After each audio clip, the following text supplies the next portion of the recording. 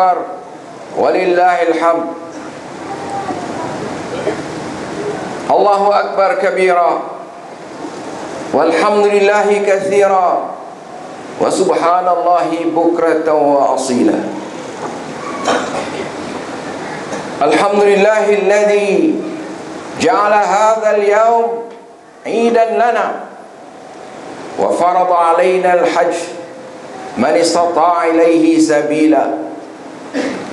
ووعد لمن حج بيته خالصا لوجهه الكريم جزاء موفورا وجزيلا.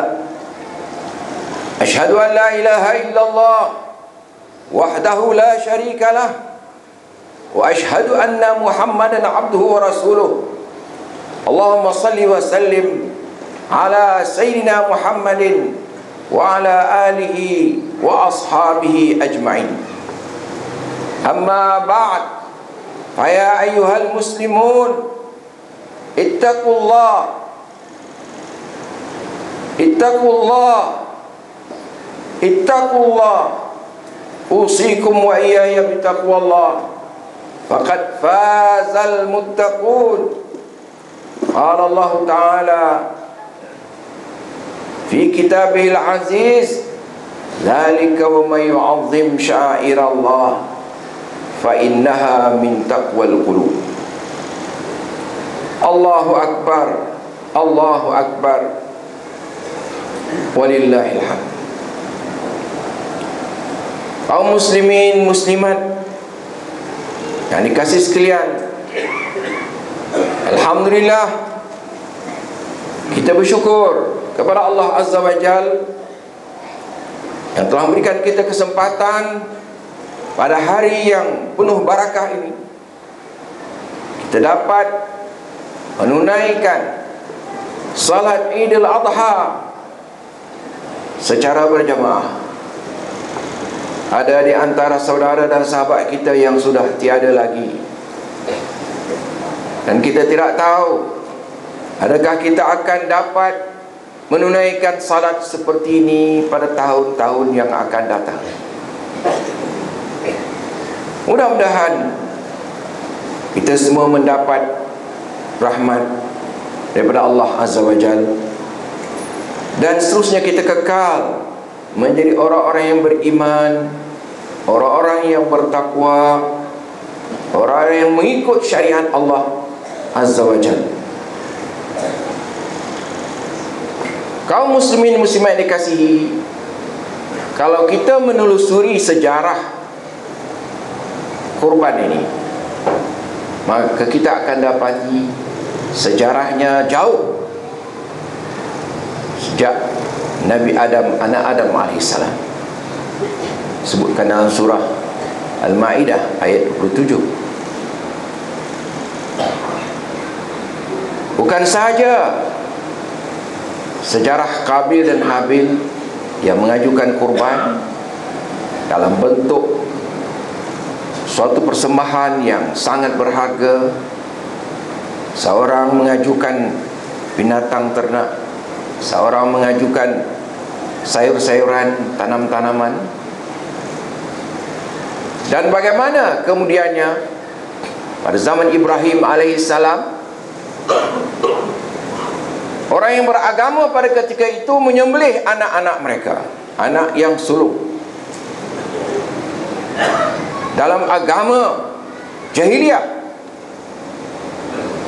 Dan mereka begitu bangga dengan kesediaan untuk berkorban. Dan kalau kita menelusuri zaman Rasulullah SAW yang lebih hampir dengan zaman Rasulullah kita dapati sejarah permulaan umat Islam merayakan sambutan Idul Adha ialah sebelum kedatangan Islam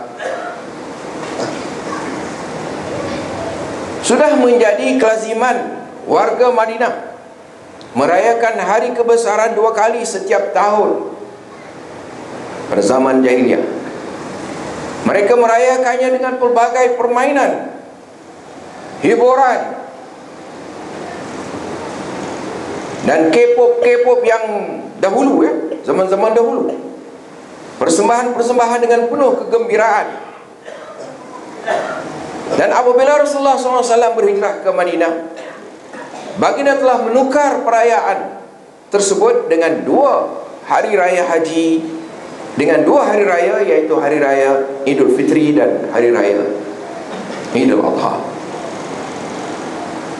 Ini dinyatakan oleh Rasulullah SAW dalam hadis baginda, "Qad abdalakumullah bihima khairan minhuma."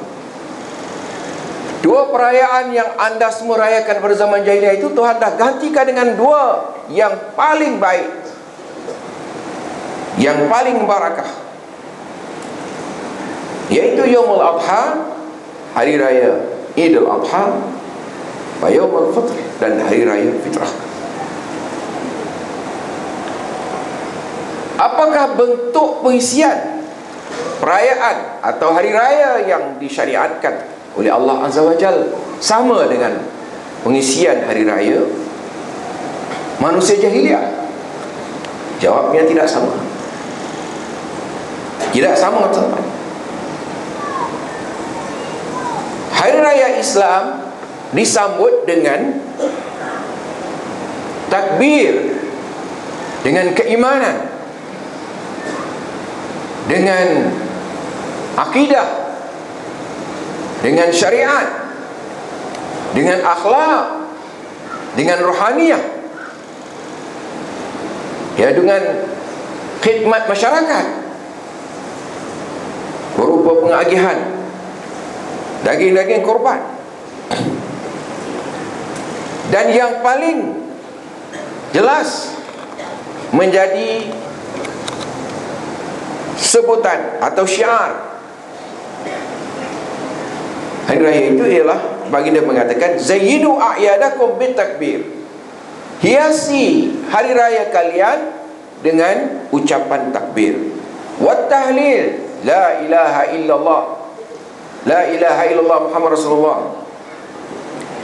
Wat tahmid dan juga puji-pujian kepada Allah Azza wa Jal Wat taqdis dan menjernihkan atau mensucikan mengkuduskan Allah. Tuhan maha pengasih maha penyayang maha adil maha suci daripada kezaliman kebodohan kemunduran. Jadi jika ada sesiapa mengatakan bahawa mengikut syariat Allah itu menyebabkan mundur manusia itu adalah mencemuhkan Allah Azza wa Jalla.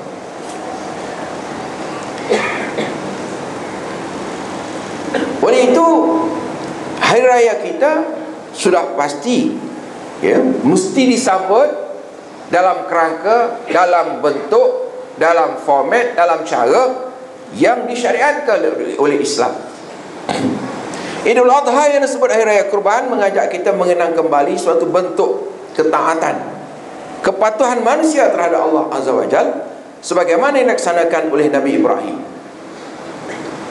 Oleh kerana zaman baginda agama jahiliah itu mempersembahkan anak untuk membuktikan keikhlasannya kepada Tuhan.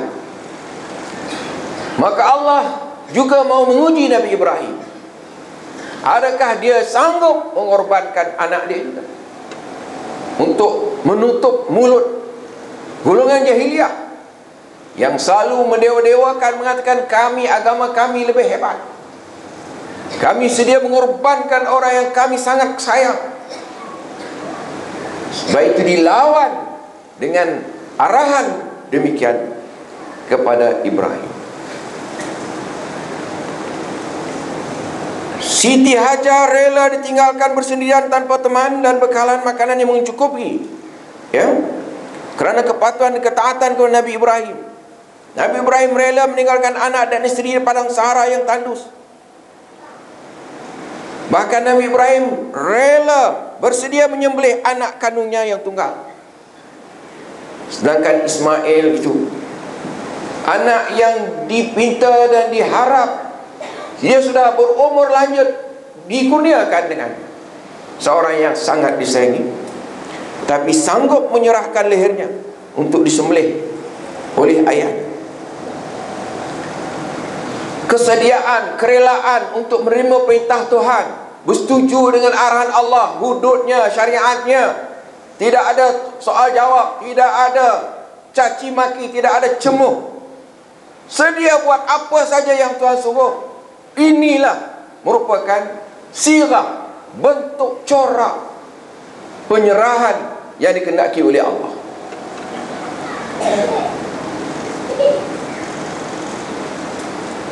Tapi adakah Allah meneruskan sunnah yang dilakukan oleh orang-orang jahiliyah itu?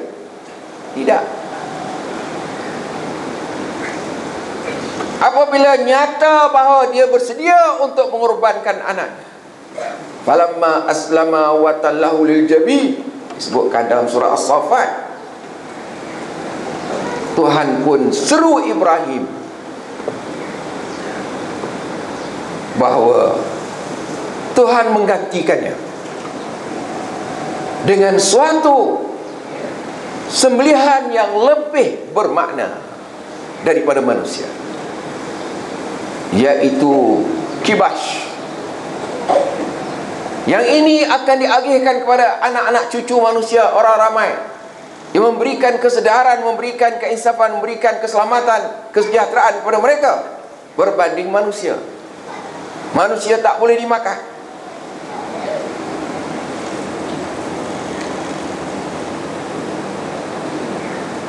Maka selamat dan sejahtera lah Ibrahim alaihissalam anak baginda.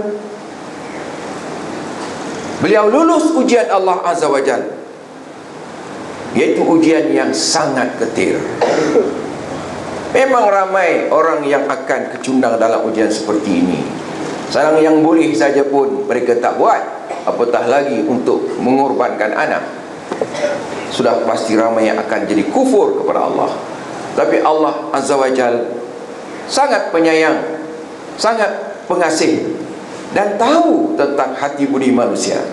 Allahu akbar. Allahu akbar. Allahu akbar. Walillahil hamd.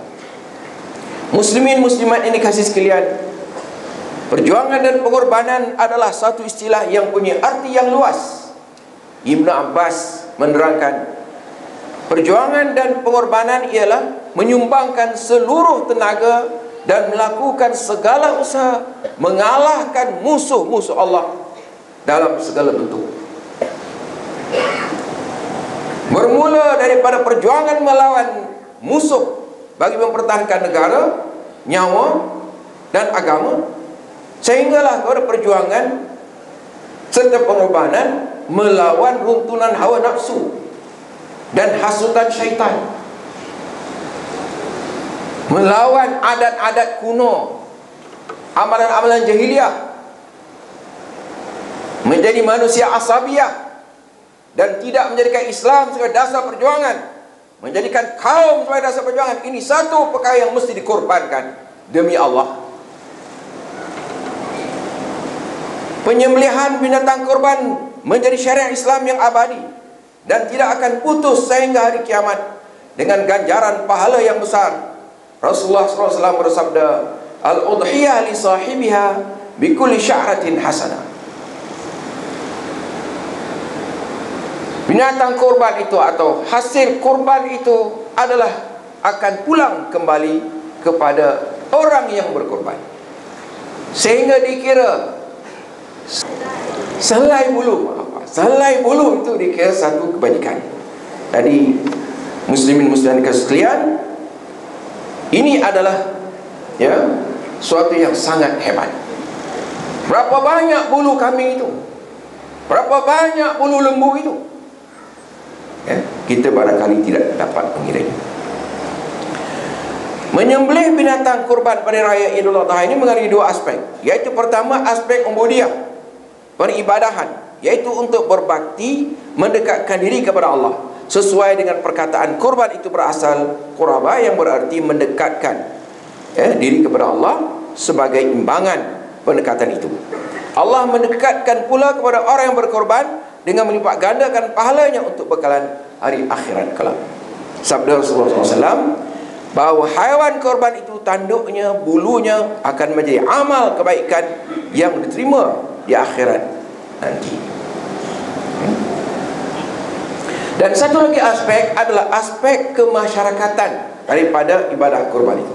Dengan melakukan korban dan membagi-bagikan daging sembelihan itu, akan suburlah jiwa melahirkan kemesraan ya sesama umat manusia di mana kaum yang kurang bernasib baik akan merasa nikmat daripada daging korban yang diterimanya. Sebagian korban kita hantar ke Bangla ke Rohingya ke Kemboja ke Selatan Thai dan banyak lagi. Ya dengan cara ini akan terciptalah ya suatu kaitan hubungan ukhuwah keharmonian sosial dalam masyarakat. Allahu Akbar Allahu Akbar Allahu Akbar walillahilham Muslimin muslimat yang dikasih sekalian Sesungguhnya hari raya kurban adalah hari yang penuh dengan nilai-nilai perjuangan dan pengorbanan. Maka dengan hadirnya Idul Adha setiap tahun Akan mengingatkan kita kebesaran nilai-nilai ajaran Allah Azza wa Jal. Kerelaan berkorban yang telah ditunjukkan oleh Nabi Ibrahim Naklah kita terapkan dalam semua aspek kehidupan kita kita hendaklah berani mengorbankan kepentingan kepentingan pribadi, kepentingan keluarga, kepentingan kaum atau kelompok, golongan dan organisasi demi untuk kepentingan agama Allah, kepentingan masyarakat dan negara. Tanpa adanya kesediaan untuk berkorban, janganlah diharapkan akan datang kejayaan, kebahagiaan, akan berkembangnya syiar agama dan masyarakat yang mahu serta mendapat keampunan Allah tidak mungkin itu berhasil melainkan dengan pengorbanan. Jiwa berkorban. Sanggup mengorbankan kebatilan. Faham Melayu yang kuno tolak bahawa Islam. Kerana Islam itulah dinul haq. Wa may yabtaghi ghayra islam dinan fala yuqbal minhu. Siapa yang mengambil selain dari Islam sebagai dasar hidup agama dasar budaya dasar negara dasar politik tidak diterima oleh Allah SWT ini kita harus korbankan. Jangan bimbang jangan takut kerana dia bukan manusia. Dia kebatilan. Umat Islam adalah sedar bahawa ujian Allah kepada kita datang bertubi-tubi. Ianya tidak mengenal ruang, tempat dan waktu. Ujian menimpa umat Islam dengan nyata dan tidak dapat dielakkan. Firman Allah Subhanahu wa taala ahasiban nas an yutraku ay yaqulu amanna wa hum la yuftanun. Apakah manusia menyangka bahawa mereka akan dibiarkan? Begitu saja mengaku mengucap dan tidak dicoba, tidak diuji. Tidak diuja. Sedangkan orang lain sebelum ini telah diuji, diuja sampai bergegar sendi-sendi mereka. Ya. Antara ujian yang kita hadapi tuan-tuan yang pertama ujian dari dalam yaitu kegagalan kita mewujudkan perpaduan umat yang berpegang teguh kepada syariat Allah. Masih ramai lagi yang nak mengikut fahaman-fahaman yang sesat. Fahaman-fahaman kuno Islam dah turun. Tapi mereka tak setuju dengan Islam. Mereka tentang Islam. Islam sebagai dasar perjuangan dasar akidah dasar negara dasar politik dasar budaya. Islam itu yang mereka tentang. Kalaupun tidak dikatakan pecah namun keadaan menunjukkan kita ke arah jalan yang bersimpang siur. Oleh itu umat Islam adalah bersatu dalam satu bentuk keluarga besar di bawah lembayung Islam. Kita tidak sepatutnya berpuak-puak dan berpecah belah kerana hal yang demikian akan melemah dan merugikan umat Islam itu sendiri. Mengapa anda tolak Islam setelah anda masuk Islam? Kenapa anda, anda anti penyelesaian Islam? Cita-cita Islam. Sedangkan anda dah masuk Islam. Apa artinya anda menjadi cendekiawan Islam jika anda menentang Islam Ujian dari luar ialah ujian dan cabaran daripada golongan anti agama Islam. Dengan mempersendakan agama kita. Mereka yang musuh Islam itu telah meletakkan dasar perjuangan yang untuk menghancurkan umat Islam sejak dahulu lagi. Terutama umat Islam yang dianggap sebagai penghalang cita-cita mereka. Membentuk masyarakat yang dipandu oleh fikiran manusia tanpa adanya Tuhan. Musuh-musuh, Zionis, imperialis, imperialis baru dan lama. Mereka tak suka dengan Islam. Mereka anggap Islam punca keruntuhan, punca kesengsaraan. punca kemunduran laksana hudud mundur umat. Ini ini adalah pandangan-pandangan yang sangat ya menguji Allah Azza wa Jalla. Mereka menggunakan berbagai cara taktik strategi menghalalkan sebuah cara untuk mencapai tujuannya. Mereka nak meledakkan umat Islam di dalam dengan menimbulkan pertentangan mazhab. Sehingga bersembelihan satu sama lain oleh itu kita mesti bersatu dan berkorban apa saja bagi mempertahankan agama kita ini. Daripada diancam dan diserang oleh musuh-musuh Islam. Sikap berdiam diri melihat musuh Islam menghina agama. Mencaci keagungan Al-Quran. Merendah-rendahkan Nabi kita. Undang-undang kita. Dianggap sebagai reda dengan perbuatan musuh kita. Tak lagi kita bagi bantuan pula. Bagi duit lagi. Berdiam diri boleh diartikan bahawa umat Islam sebagai golongan pengecut bacul dan lemah dan boleh diperkutak katikan. Sifat inilah yang disukai oleh musuh-musuh Allah. Apakah kita rela dilabel dengan sifat-sifat negatif ini? Tentu tidak. Pengorbanan untuk memelihara keluarga agar menjadi keluarga yang saleh berguna pada agama bangsa dan negara merupakan satu pengorbanan yang wajib kita lakukan. Ini kerana pergolakan dan permasalahan rumah tangga di kalangan sebagian keluarga muslim dewasa ini amat ketara tuan-tuan. Anak-anak ponteng sekolah dan apa juga ada juga yang lain lari daripada rumah selain itu juga gejala ketagihan judi arak zina dan sebagainya mana kehidupan zaman jahiliah dahulu kala. Marilah kita berkorban, berjihad melawan nafsu serakah kita. Naklah kita menjadi pemimpin yang dicontohi, adil dan bertanggungjawab. Ibu bapa yang prihatin terhadap keluarganya, anak-anak yang taat kepada ibu bapanya, murid yang hormat kepada gurunya, warga yang bertanggungjawab memelihara keharmonian dan keamanan negara. Allahu Akbar, Allahu Akbar, Allahu Akbar. Walillahilham Muslimin dan muslimat yang dikasih sekalian Kita hendaklah mempunyai keyakinan bahawa Apabila Allah merintahkan kita mengorbankan sebahagian harta untuk menegakkan agama Allah Ini bermakna Allah akan menjaga harta kita daripada sebarang kemusnahan Demikian juga dengan pengorbanan jiwa Allah akan gantikan pengorbanan itu dengan sesuatu yang lebih berharga Pengorbanan perlu dilakukan sebagai tanda kasih sayang ia perlu dilakukan untuk menzahirkan perasaan cinta dan kesetiaan kepada Allah. Orang yang sanggup berkorban adalah orang yang sanggup berbakti, sanggup membelanjakan apa yang disayangi untuk meningkatkan amal soleh. Allah menegaskan dalam konteks ini, "Lan tanalul birra hatta tunfiqu mimma tuhibbun, wa ma tunfiqu min syai'in fa innallaha bihi alim." Kalian tidak akan dapat kebajikan, kebaikan. Melainkan dengan kalian mengutarakan apa yang kalian sayang.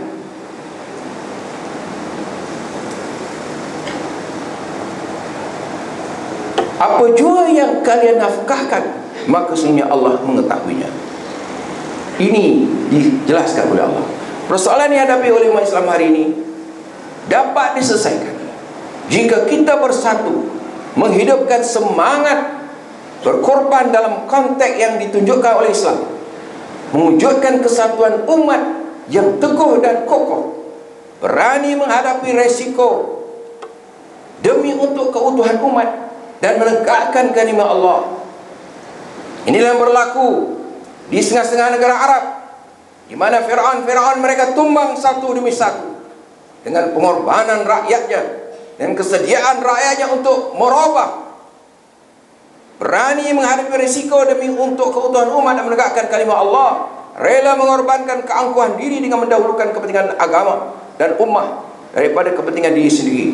Jika penghayatan korban itu telah benar-benar hidup di dalam diri setiap muslim maka ujian yang lebih hebat akan dapat diselesaikan dan diatasi Allahu Akbar Allahu Akbar Allahu Akbar walillahilhamd muslimin dan muslimat yang dikasih sekalian perbezaan pendapat dan persihan faham antara kita dalam masalah furu' dan ijtihadiyah adalah satu perkara yang tidak mustahil berlaku. Rasulullah sendiri telah mengingatkan bahawa perbezaan pendapat dalam perkara-perkara furu' dan ranting ini selalu rahmat. Perbezaan pendapat ini terbatas dari segi pemikiran dan akal sedangkan hati tetap satu dan dipandu oleh akidah syariah dan kiblat kita yang satu Allahu Akbar Allahu Akbar Allahu Akbar Walillahilhamd Muslim muslimat dan sekalian, marilah kita tingkatkan amal kebajikan dan kerelaan berkorban untuk kepentingan agama serta masyarakat sebagai bukti semakin meningkatnya iman dan takwa kita kepada Allah Azza wa Jalla.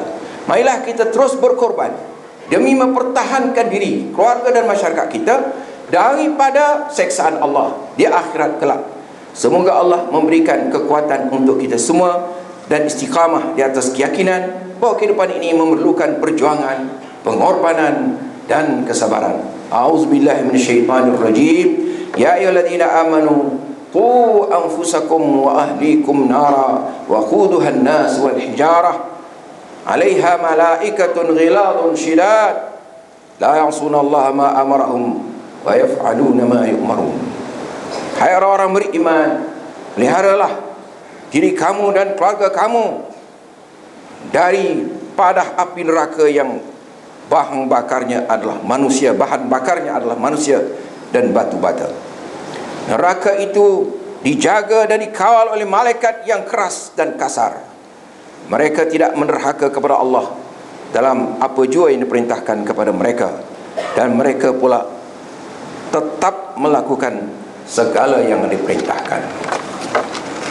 Barakallahu li wa lakum bil qur'anil azim ونفعني وإياكم بما فيه من الآيات والذكر الحكيم وتقبل مني ومنكم تلاوته إنه هو السميع العليم أقول قولي هذا وأستغفر الله العظيم لي ولكم ولسائر المسلمين والمسلمات فاستغفروه إنه هو الغفور الرحيم اللهم صل وسلم وزد وأنعم وتفضل بجلالك وكمالك على خير عبادك وأشرف خلقك حبيب القاسم سيدنا ومولانا محمد وعلى آله وصحبه وسلم.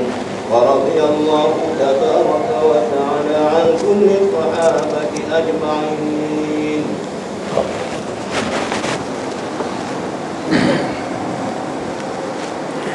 الله أكبر الله أكبر الله أكبر الله أكبر الله أكبر.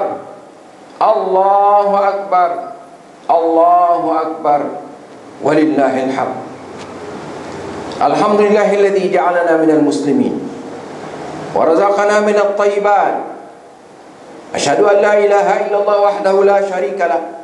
وأشهد أن محمدا عبده ورسوله. اللهم صل وسلم وبارك على سيدنا محمد وعلى اله واصحابه الطيبين الطاهرين اما بعد فيا عباد الله اتقوا الله اوصيكم واياي بتقوى الله وطاعته لعلكم تفلحون Muslimin dan muslimat yang dirahmati Allah Pada saat ini umat Islam yang menunaikan ibadah haji mula sampai di Mina setelah wukuf di Arafah dan bermalam di Muzdalifah dan ini dapat kita lihat dalam kaca-kaca web TV dalam internet Mekah live Madinah live dan sebagainya mereka yang datang daripada pelbagai pelosok dunia akan melontar batu pula di Jamratul Aqabah. Seterusnya akan melontar di tiga jamrah. Ula Al-Wusta dan Al-Aqabah pada hari-hari tasyrik. Setelah itu mereka akan ke Mekah untuk menyempurnakan ibadah haji mereka. Apa yang penting daripada ibadah haji bukan berapa kali seorang itu menunaikannya. Tapi balik masih begitu tidak berubah tapi yang amat penting ialah ibadah haji yang dilakukan yang dapat membentuk sikap dan perilaku syaksiah seseorang menurut syariat Islam. Apa gunanya berbaju cantik? Jika kita menolak syariat, tolak hudud, tolak Islam sebagai dasar perjuangan, dasar politik, dasar negara. Tak ada gunanya. Karena Islam itu sesuatu yang lengkap, menyeluruh.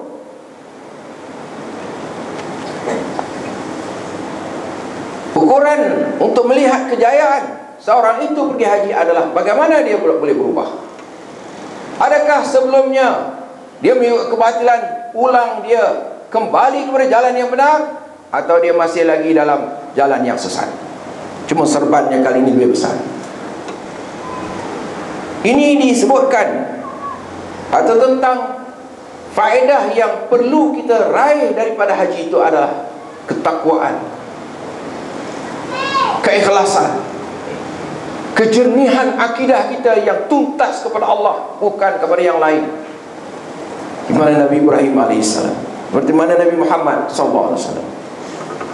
Sabda Rasulullah SAW Al-hajjul mabrur Laisa lahu jaza illa jannah Haji yang mabrur itu Tidak ada balasan yang boleh Memenuhinya Kecuali syurga. Syurga lah balasan yang paling pantas Paling wajar Bagi haji yang mabrur Bukan yang lain. Bukan kereta Bukan banglo. Muslimin dan muslimat di kasus sekalian Pelaksanaan ibadah haji menangi beberapa pengajaran yang amat penting dan perlu dihayati antaranya ialah Pertama, pentingnya keimanan dan akidah yang utuh Benar berlandaskan Islam kafah. Islam yang menyeluruh. Ya ayyuhallazina amanu dalam surah Al-Baqarah ayat 208 Tuhan sebut hai orang beriman udkhulu Fisilmi kafah Masuk Islam Seluruhnya. Baju Islam Misai Islam Janggut Islam Politik Islam Negara Islam Undang-undang Islam Semuanya Wala tetap yang khutuat syaitan. Jangan ikut langkah-langkah setan Sama ada yang anda kenal atau anda tak kenal Setan tetap musuh. Tak ada setan yang boleh dianggap kawan Walaupun you kenal dia. Yang pertama. Yang kedua pentingnya ketakwaan dan ketaatan yang tinggi kepada Allah Subhanahu wa ta'ala. Taat takwa itu mesti tinggi yang ketiga, pentingnya perasaan kasih sayang, saling harga menghargai, hormat menghormati, hubungan persaudaraan atau ukhuwah Islamiyah dan jamaah yang padu. Ulama menyebutkan di sana ada 8 mazhab yang patut jangan kita kafirkan. Selain perempat dia kata ada lagi ibadiyah zaidiyah uh, zahiriyah imamiyah dan sebagainya. Ini disebutkan dalam muktamar di Jordan. Jadi kita tak boleh sebab kita akan jumpa mereka di Mekah jadi kita tak boleh kafirkan orang yang begini menurut ulama-ulama Keempat pentingnya menghilangkan sifat angkuh dan rasa besar diri atau takabur sebab pada hakikatnya semua manusia adalah sama di Allah Azza wa Jalla. Tidak ada kelebihan yang putih daripada yang hitam. Yang Melayu bukan Melayu. Tidak ada kelebihan melainkan dengan takwa, dengan keimanan, dengan tauhid. Pentingnya kesedaran kesedaran untuk rela berkorban. Yang kelima. Perlunya kesediaan berkorban. Korban untuk memastikan keadilan berlaku Korban untuk memastikan yang zalim jatuh dan naik yang adil. Korban untuk membuat perubahan. Ini mesti. Pentingnya mengorbankan fahaman asabiah jahiliyah. Perkauman dan sebagainya di samping menggantikannya dengan fahaman Islam. Yang menyatukan kita di bawah lembayung tauhid. Perundangan, syarat atau hudud yang adil dan saksama.